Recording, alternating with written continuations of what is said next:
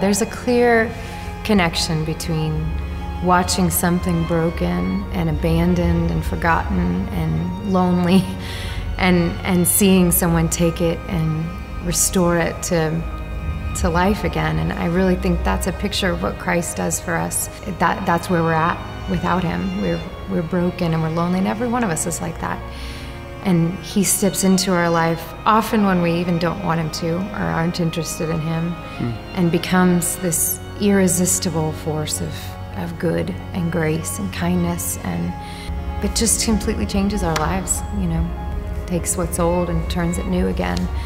And it's just been beautiful to watch that happening in this building week by week as we worship.